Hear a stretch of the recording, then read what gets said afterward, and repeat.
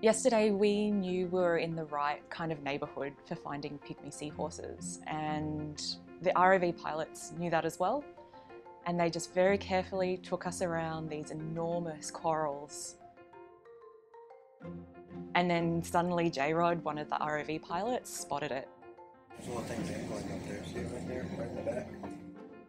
It was tiny and completely camouflaged and it took the rest of us a little while to spot it as well. Uh, yeah, something's Wait waving. a second. We got a pygmy seahorse. Yeah, yep, yep, definitely.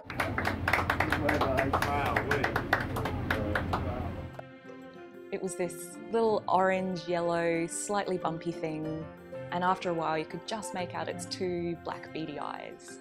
When we repositioned to get a better look, you could really see how it was attached to the coral and hanging on there and moving with the currents at that depth.